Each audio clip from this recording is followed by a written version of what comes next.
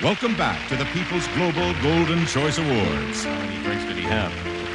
Oh, wow. And now, with their salute to the best music from the year's best films, the five neat guys. On Golden Pond with the Fondas. Spent the whole summer with Kate. In comes the kid. The film didn't hit the skids. And that's why that flick was so great. There's no reds like dead reds for me.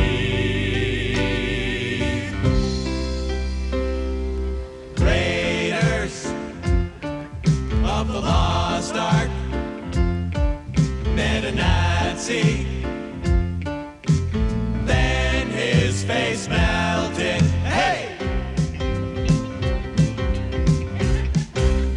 Absence of malice.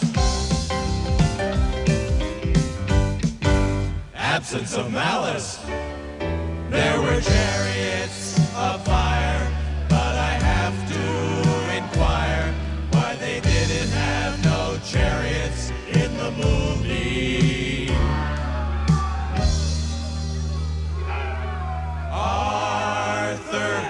was a drunk little rich kid. He drove around in limousines. And that's our tribute to the street.